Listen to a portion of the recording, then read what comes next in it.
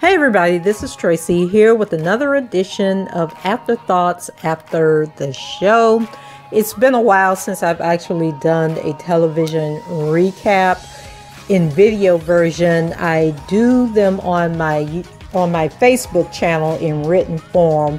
And so I decided since I'm going to give Power Book 2 a chance, I'll just bring to YouTube what I wrote on my Facebook, just a quick synopsis of what um, took place. And so you guys know that book two is the continuation of Power.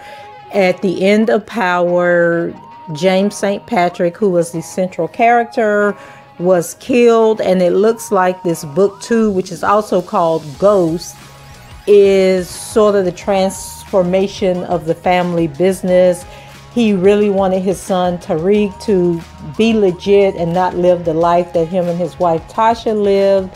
But it looks like Tariq is going to get pulled into the game because Tasha has been arrested for ghost murder when we know that it was actually Tariq that killed his father. And so I thought that I kind of enjoyed the show. I said I wasn't going to watch it, but I got suckered into watching it. And so I actually was enjoying it for the most part. You know, as a writer, you know, the writer in me, you know, is constantly nitpicking and going through things. And so my first thought was that some of these black mamas really ain't shit and that they raising their kids not to be shit, okay? because Tasha Monet, who's played by Mary J. Blige, is a new character on the show. And then the girl who was the stripper, and I can never remember her name. I want I can't think of her name. I need to go back and check on that. I had looked for it earlier and couldn't find it. But in any event, um, they all need to go to jail and they need to be in the same jail cell. And there was a corrections officer. She was a big black woman, not big as in heavy set, but just big bone tall black woman who basically told Tasha that she was full of it, that she was a liar, and that she was going to jail for killing her husband if she didn't come up with a plan. And so there's a whole new cast of characters that we got to learn. As a matter of fact, there is too many characters, and it's probably going to be hard to keep up with them unless they start killing them off like they did in the original Power. And so it also means the more characters you have, the more storyline, the more nonsense that you're going to have to deal with. And so I was thinking, you know, that 50 Cent had found some new writers. And then we got to the end of the show, and I'm like, okay, here we go. Because when we got to the end of the show, Tasha thought she was going home, that she had cut a deal but they came with the real real okay and instead of state charges for murder she you know was hit with some federal charges and so when she was asked who actually killed ghost that fool stood up there and said that it was Tommy Egan. I was like, oh my God. Now, Tommy then rolled off into the sunset, getting ready to start his business over on the West Coast. And now Tasha finna bring him back into the fold. And I actually think one of these spin-offs for the Power series is going to be focused on Tommy. So someone had commented on my Facebook post that maybe this is how they're going to do the lead in to the series that is going to be focused on Tommy. So James hasn't been buried yet. Now y'all remember in the original Power when Raina was killed, it took forever for them to finally bury that poor child and look like we might be going through the same situation with James. And it's so crazy because they're trying to act like James was just murdered.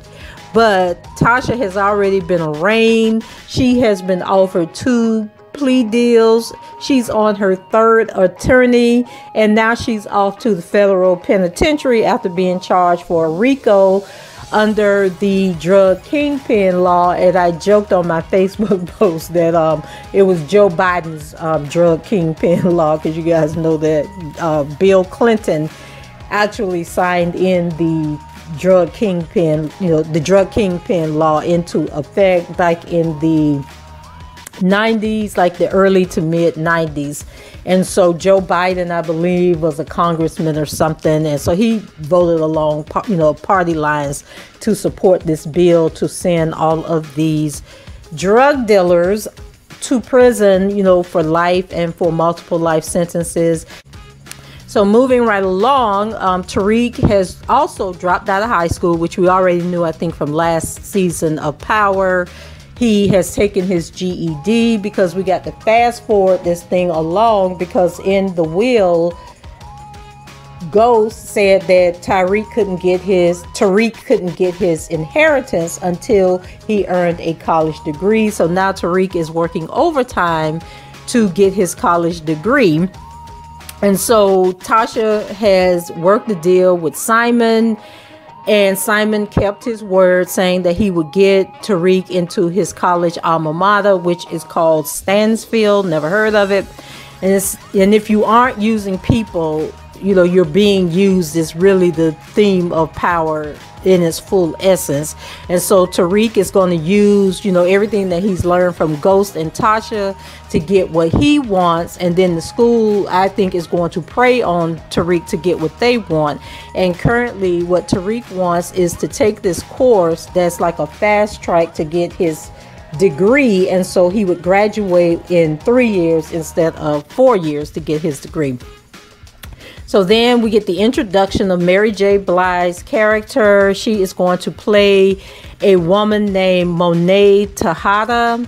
And so they are like a crime family, a big time crime family. So it doesn't look like we're going to be dealing with the Italians in this series of power. We're going to be dealing with, I don't know if Tejada is like a Mexican name. The guy that they showed who is the father. He looks like he's in prison, um, bald head, so he's probably some kind of Hispanic. Um, Tariq is paired with a basketball player, so this is how the college is going to use him. Is that they have this top basketball player who I guess isn't that smart. And so they made him and Tariq roommates, and Tariq has to tutor him, aka do all of his work so that he passes his courses which is sort of in conflict because in order for Tariq to get into this class that he wants to get into, he has to read this book and do an oral presentation. And this class is supposed to be super, super, well, it's not even a class, it's a program within the college, and is super tough to get through. And so now Tariq has the pressure of trying to get Tasha out of jail, having to tutor this basketball player, and to keep up with his studies for this class, but he says that he is up for the challenge. Although he has shown up late to at least three very important meetings at the college and with college officials, and he didn't read the book when he did his first presentation, but he convinced the people to give him another chance to do another presentation by um, finishing up the book. And so the basketball player is, I'm not sure if he's blood related or street related to Mary J. Blige's character Monet, but they have a party for him, you know, congratulatory party on him getting into college. He takes Tariq. Tariq gets a quick introduction into this family because he asks to go to the bathroom and he goes to the bathroom and there's a girl giving this guy, you know, some head. And Tariq later finds out that he's the son of Monet. The girl's boyfriend shows up to the party. There's some interaction going on. It's obvious that the guy is mad. He's humiliated and embarrassed because his girlfriend won't be with him. So Monet tells her son that he has to deal with this guy or this guy is going to be a problem. And so she is so ruthless that she actually takes her son to where this guy lives or to meet up with this guy for the son to kill the guy, which he does. And then he comes and gets back in the car like she's waiting on him outside, like he just went to pick up something he left at a friend's house and he had blood on his cheek. And she takes a rag or something and wipes his face and basically tells him that he did a good job. So back to Tasha. Um, in Tariq's quest to get his mom free, Tariq tries to hire this new lawyer that he's seen that he thinks can get his mom off the case. And I'm thinking that this guy is going to be the version of Proctor for Tariq. So he's played by Method Man. You guys all know um, Meth. And so his name is David McLean. And so he tells Tariq that his retainer is $500,000.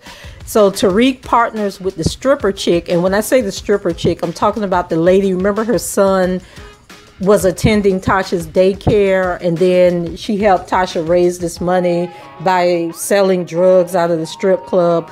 Well, Tariq went through some old paperwork, got her information, and so now he's hooked up with her.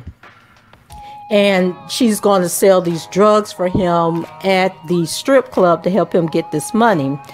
And so, remember the girl, Effie who was Tariq's girlfriend in Connecticut. And I keep saying that the college is called Choate, but that might not be it. If you know what the name of that college is, leave it in the comments if I'm getting it wrong. So Effie is now at Yale University. Well, it wasn't Choate College, it was a um, preparatory school. And so now she's at Yale and he goes and he finds her because remember the white guy who was Tariq's roommate at Choate well, now he's also a student at Stansfield. Okay, so you know, bringing it all together here. And so he tells him how to find Effie. He goes and finds Effie. She gives him the drugs. And she kind of looks at him like, you know, she wants to rekindle their relationship. But Tariq wasn't really giving her the time of day. And so the lady sells the money. They only raise $50,000 and Tariq knows that it's not enough. So what he does is he gets Zeke, who is the basketball player, to let him use his Instagram account. And so he does a video basically saying that he's thankful for the McLean guy taking on the case for his mom. He thinks that, you know, his mom's going to get out of jail and he's just really grateful. So of course that went viral, and the McLean guy was like, "Okay, I'm gonna go and try and help your mama." But then when they and he said, "But you got to pay me," so Tariq gives him the fifty thousand dollars. That's when they go to court, and he's the third lawyer. She went through Tamika, who was the attorney, the um, United States attorney, and she got fired or left or whatever with the whole Angela situation. So she was the first attorney, and she was able to work these deals with Tasha that kept falling through. Then Tasha fired her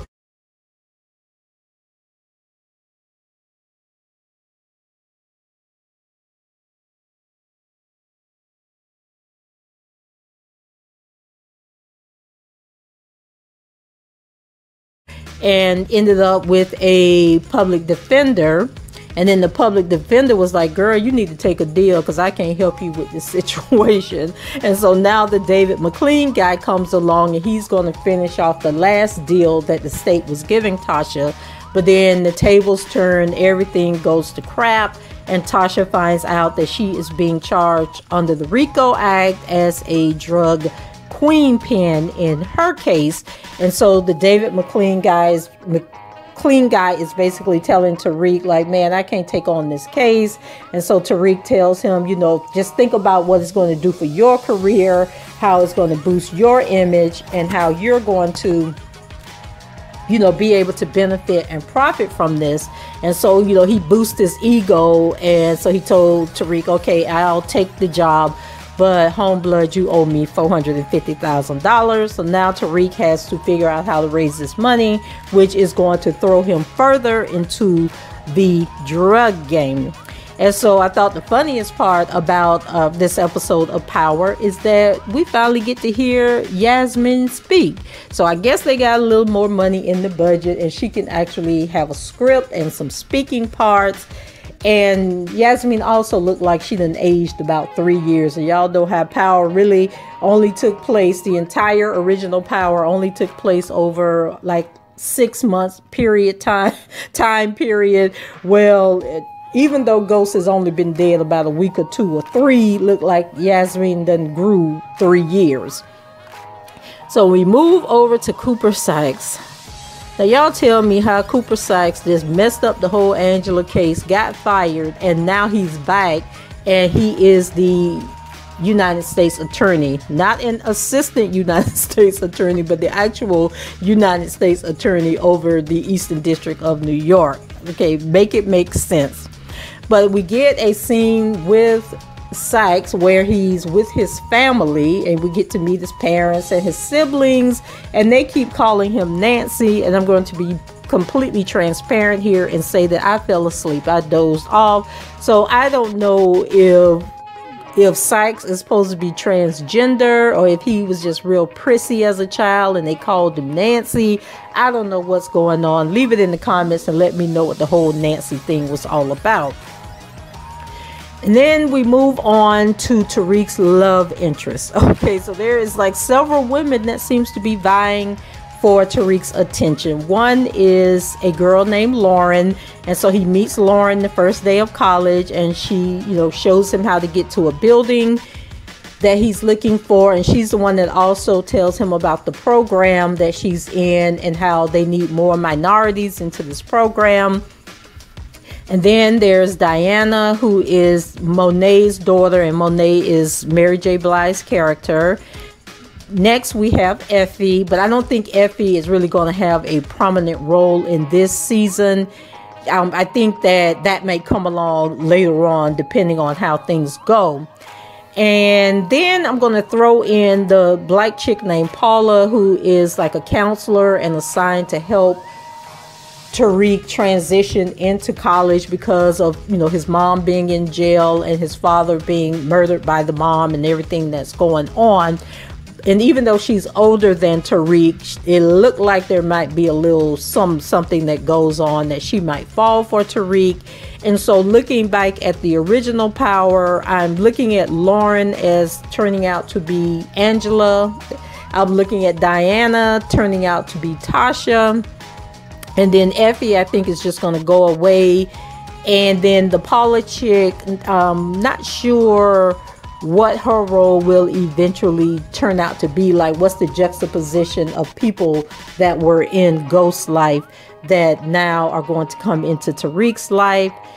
And so you know Tariq seems to be able to work his magic on everyone he comes in contact with just like his father and will cause many many problems at Stansfield and their diversity team because they seem to be like supposed to be an Ivy League school and they're trying to, you know, integrate their black students and make their black students feel a part of everything that's going on. And so Tariq is probably going to bring the whole college down.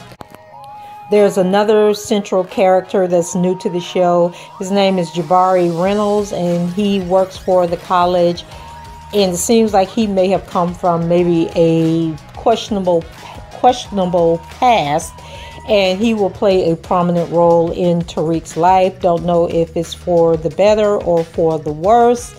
And then with the whole charges against Tasha, once again, the DNC is playing a role in that they are the ones that's pushing for Sykes to file these charges against her. And then we know that Sykes was at the scene when the whole shooting took place. And that's actually who I thought Tasha was going to tell the courts was the person that actually killed James, but for some reason she decided to throw Tommy under the bus and say that it was him.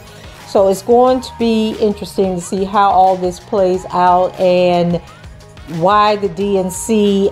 I'm not sure if Larenz Tate is coming back and if he's going to be a part of this or not it's just something with the DNC and why they're still involved and pursuing these charges against Tasha that will also play a pivotal role in this season. And so that's it for me. Um, what do you guys think? Do you like this new version of Power? Are you going to be in? All in watching. Um, let me know what you think about Tariq, about the whole thing with Tasha being accused with the RICO and do you think that the writing is better just from this first initial episode? It seems to me that the writing has gotten better. So that's it for me. Leave your comments below, rate the video, and subscribe to the channel if you haven't done so already. And until the next time, I shall talk to you guys later. Bye bye.